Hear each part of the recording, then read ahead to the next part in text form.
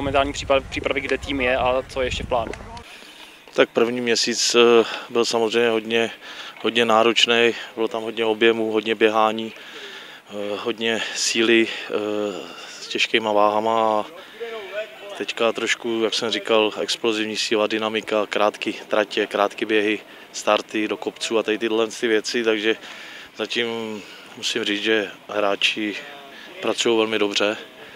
Eh, máme minimum zranění, eh, snažíme se tam zařadit i hry, aby trošku jsme to odlehčili a oni i při, těch, při tom fotbalu běhají, takže, takže eh, říkám, jsme spokojení.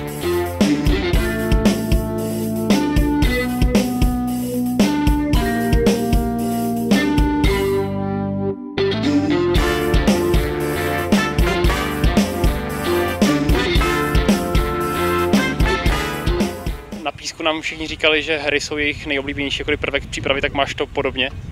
Jo, tak určitě takový zpestření, no, tak když můžeme zasoutěžit proti sobě, což je super, že je to trošku v emocích, takže každý chce vyhrát, což je bomba, jako je to takový zpestření, určitě.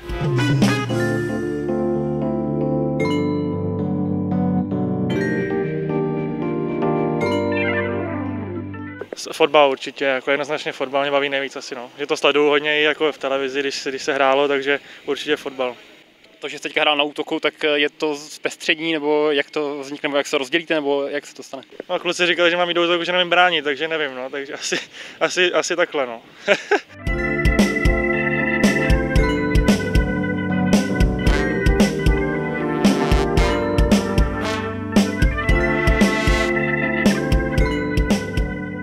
prostě musíme to domakat, aby jsme byli co nejlepší v sezóně, potom by se nám to vrátilo a, a uvidíme. No. A děláme různě posilovny, potom, ty, potom hry, sprinty, teďka jsme začali hodně sprintovat do kopců, prostě v terénu jsme na riviéře, takže, takže určitě je to náročný a jak, jak jsem říkal předtím, musíme makat, aby jsme se nám to vrátilo v sezóně. No.